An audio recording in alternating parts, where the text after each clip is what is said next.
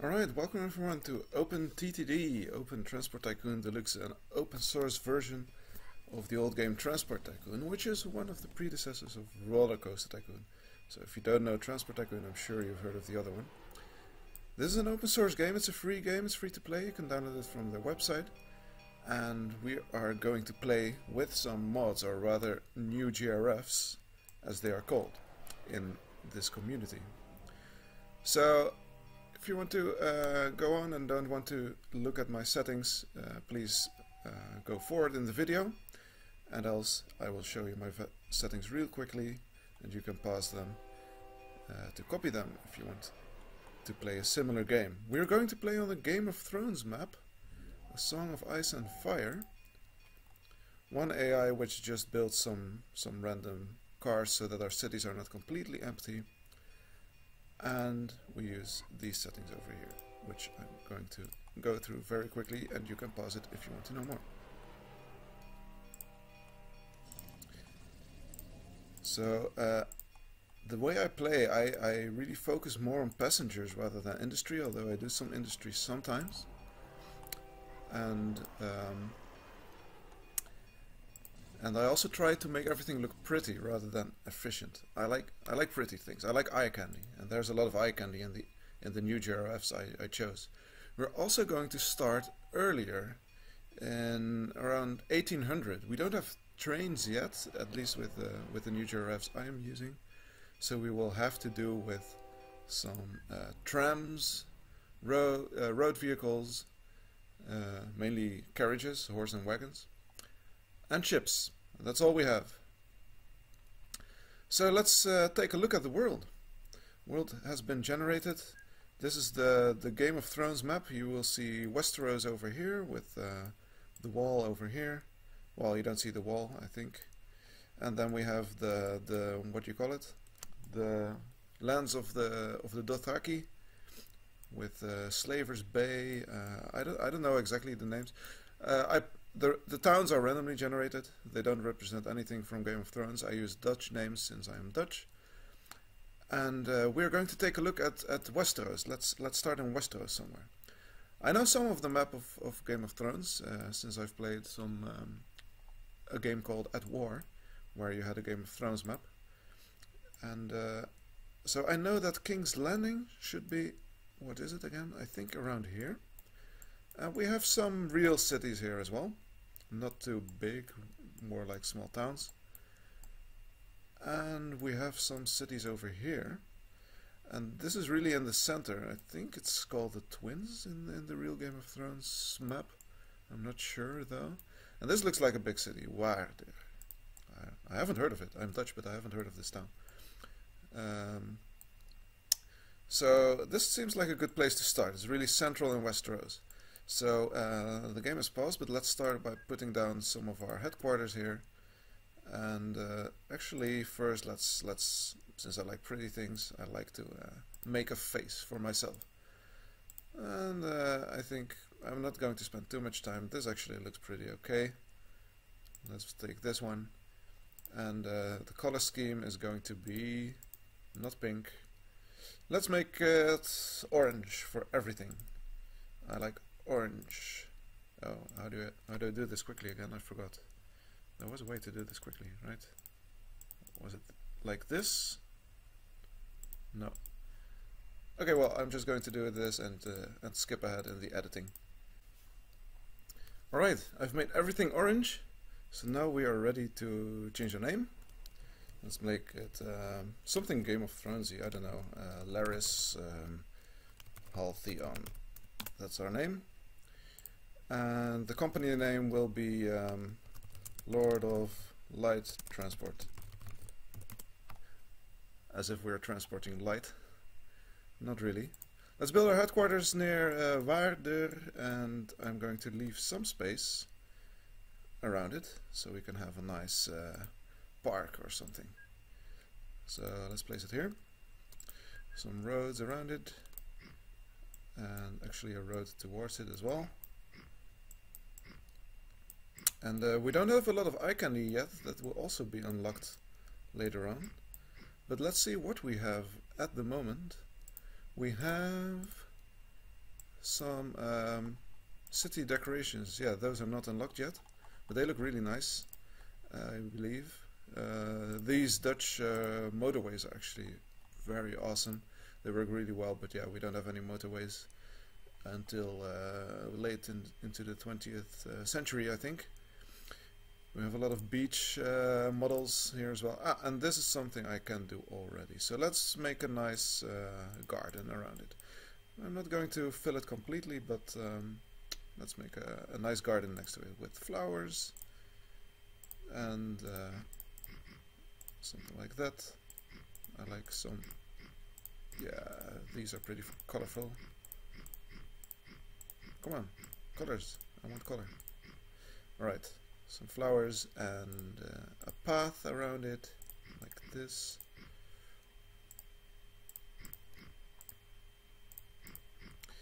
Then we use these paths. I don't know, can you actually walk walk on those? Oh yeah. It doesn't do anything anyway, it's just eye candy. But uh, this, uh, yeah, this looks sort of nice, I think. And then uh, benches. Alright. Those are our headquarters. Now let's start with the transportation. We're going to start with uh, passengers. And I, I'm always doubting between using trams and, and road vehicles. But yeah, trams are what comes closest to, to railways. We don't have any railways yet, as you can see. So uh, let's start with some, some trams, and we're going to... Um, oh yeah, this is the AI.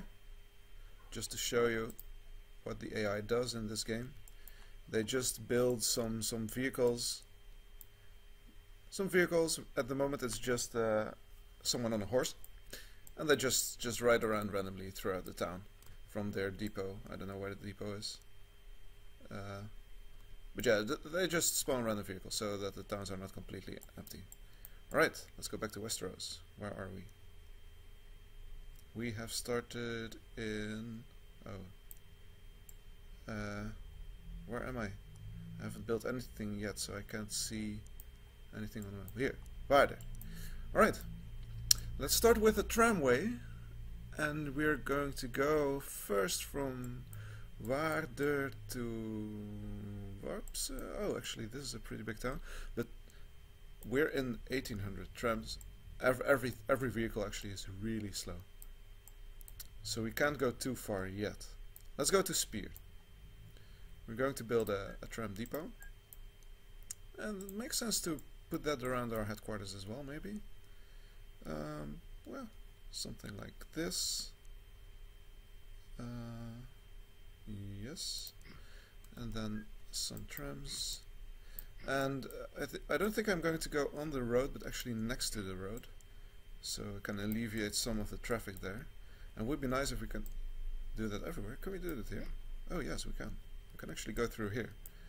So then the, later on there's some room for road vehicles in the town and the trams and the road vehicles don't overlap everywhere.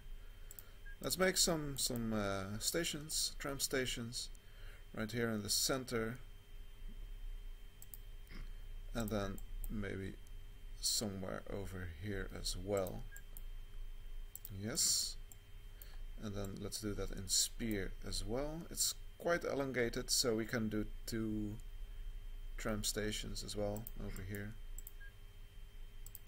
and before the town gets angry because for some reason the town council gets really angry if you even if you just place stations Let's place some freight stations as well. And I like to do that on a separate location. So let's do that here, although it is connected to that one. Let's do that over here. And that will mainly be mail. So we're going to transport mail there. Let's do one somewhere over here in Waarder and somewhere over here. Uh, what's a good spot? Maybe just, yeah. Maybe over here. Right, central. I'm going to change the names later as well. Okay, now we go, go from our depot. Oh, actually we need to go to our headquarters as well, but not yet. I think the headquarters generate some, some passenger traffic as well, but only later on in the game. So let's connect these stations. Tram goes like this. Freight can go over here. A freight can then turn around maybe. Let's make a loop. So then this way, and then let's connect back here. and then we need to go to this other town, Spier. Let's go this way, and then over here. The freight can make a loop to turn back like this and then it goes to this central location. Oh, and we need to do the freight over here as well. Yeah, let's just go on the on the roads here. And it can make a loop like this. Then these trams can go over here to get back on the main tram rail. Right, so we got a nice tram rail over here. Then let's start building trams. We have the choice of a one horse or a two horse passenger tram. And the two horse passenger tram is better at everything, it's just more expensive. But we will need it because 15 passengers, oh, actually both are 15 passengers. But yeah, this one is just faster. It's a whooping 20 kilometers per hour. I think I can bike faster than that. So it starts at the depot, it will go to Waarder, then to Central, then all the way to, well actually it, it might stop at, at the depot for some um, service, then it will go to this town and then back to the depot. It only stops at the depot for service, if it needs service, and else it will go non-stop to all the stations. So this is our first vehicle and uh, let's uh, put it inside a group. And the group is uh, waar, what's it called? Waarder Spier. Like this. Oops, not a not a new group. Let's delete this one. And then let's give this one a name as well. Maybe uh, yeah, same as the group. Waarder Spier number one. Alright. We need uh, quite a few of these, I think. Let's go.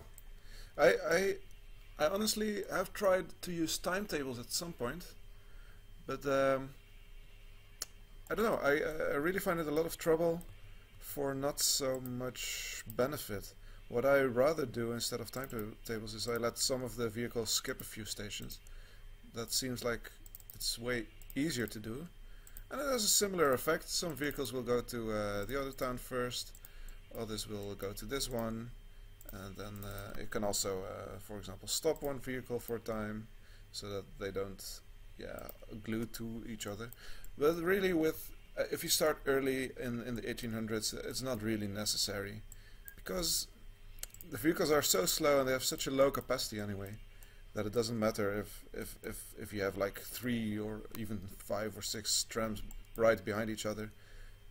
Because they will take all the passengers anyway. There will be, later on, there will be like thousands of people waiting here. And each tram can only carry, I don't know, 15. So it doesn't really matter. So this town is really small. I don't think I'm going to connect that one yet. But this one is a bit farther away. Though, yeah, difference is not that big. Right, let's connect this one and uh, I should not forget to do some mail traffic as well. I will do that after I connected this town.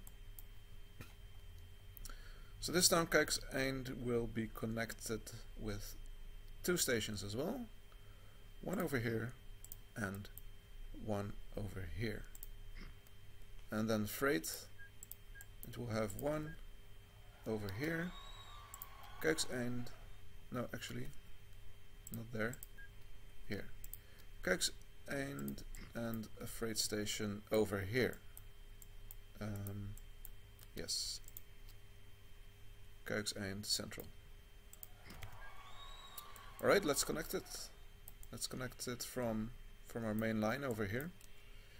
Um, yeah, we could do it like this. But then it might get really crowded over there.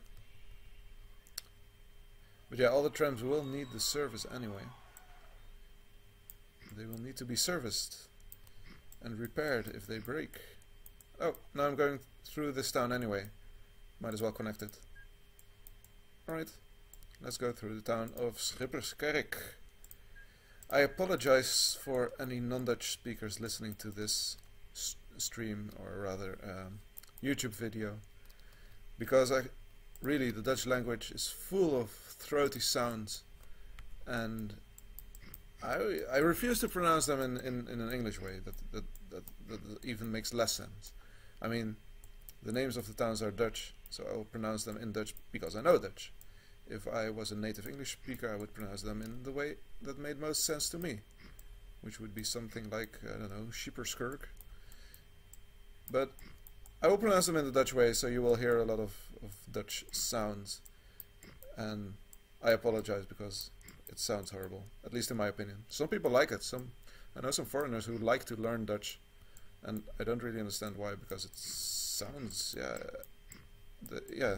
There is just so much of the g sound, the throaty sound.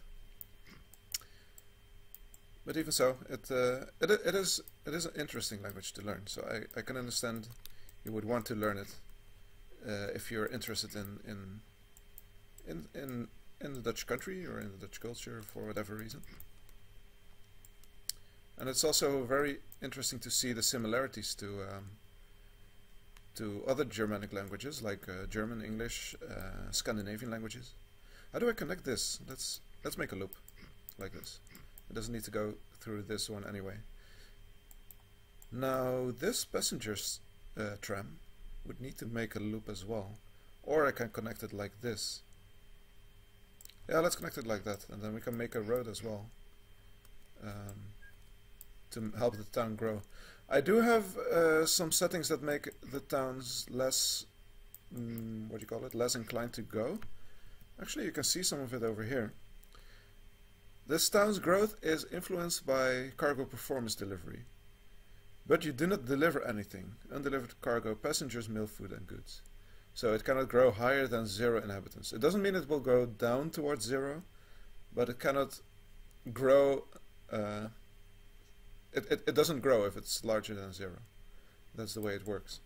So I need to deliver cargo, mainly passengers and, and, and mail at first. And later on you can uh, unlock different cargo. So our tramline's uh, yeah, making some profit. That's nice. It's really hard to make profit early on with just passengers, so I might have to take a look at, at some um, fishing grounds. But I will do that later on. Let's let's just first have at least these two lines up and running. I will make one for uh, what do you call it? For what's it called? Kuikseind that goes through Schipperskerk. And we'll make it a two-horse passenger tram as well, of course. Right. This tram will go from the, the depot to Waarder, then this station, then it will go back, it will go to the depot again if it needs any service, through this little town over here, uh, alright, through Schipperskerk over here, then through Kuikseind, Kuikseind Central, and then back, maybe actually back through Kuikseind if I put a, uh, another um, station right over here. Let's go, go back through it. So it will service that station twice. Back through Schipperskerk and back to the depot, which is already in here. Only if it needs any service. Right? So this is our second line. Let's put it in a second group. And we call it... What's the name? Waarder. Oh, I'm doing something, I don't know what. Waarder uh, and and the name of the vehicle is the same as the group name. Later on I might use line numbers, but as a because it's more similar to reality where um, oops, I did something wrong.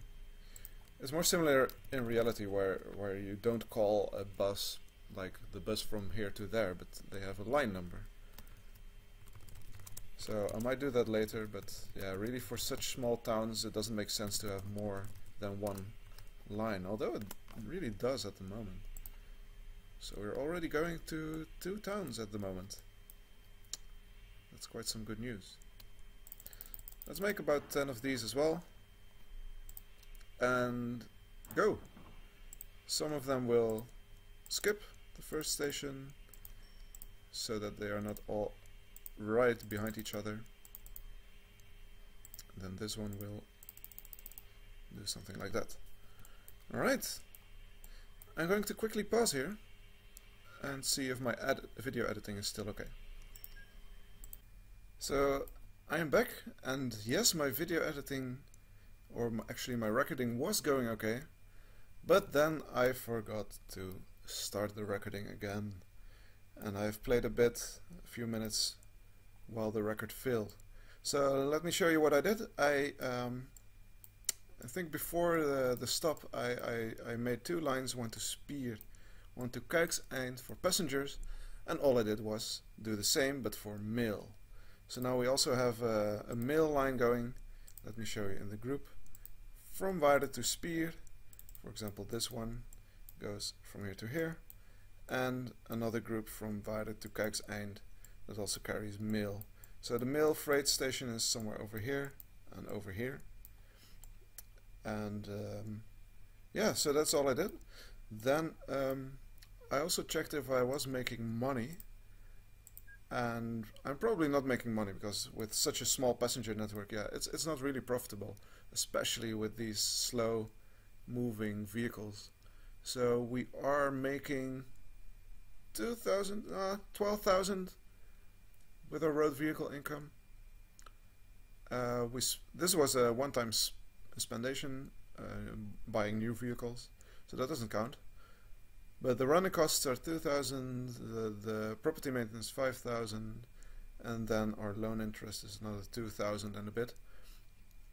So actually it does look like we are making a bit of money then, we su subtract these one-time costs from our total uh, profit, then yes, we are making some money, but uh, I also want to focus on making pretty things. I want to make a nice postal office right at the, the postal cargo stations. That's, that's, that does seem nice. At some point I want to extend the, the park around my headquarters or make a, a parking even around the headquarters, although I can't do that yet. And, uh, and maybe, maybe, let me show you a quick preview of what I want to do at some point. I want to build a town wall around my first city and that is going to be to be really nice but it, it, it costs some money. Let me show you how much it costs. One piece costs only 30 yeah it's not too much but we do need to make a profit to do that. So that's what we're going to focus on next time. Thank you very much for watching please like and subscribe if you uh, enjoyed this video and I hope to see you next time. Bye bye.